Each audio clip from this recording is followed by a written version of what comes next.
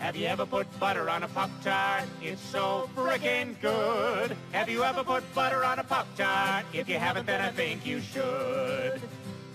I was sitting in the kitchen one day and I was itching to fill up my belly with the piping hot jelly of the best damn treat in the world. He's talking Pop-Tarts. And I saw a stick of butter and it almost made me shudder and scream like a baby girl. I don't want a giant penis or a rocket trip to Venus. I don't want to win the lottery.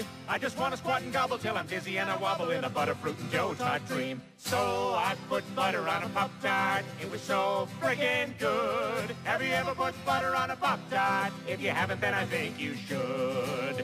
Everybody, come along with us. Have you ever put butter on a Pop-Tart? It's so friggin' good. Yeah, have you ever put butter on a Pop-Tart? If you haven't, then I think you should. Pop-Tart! With butter?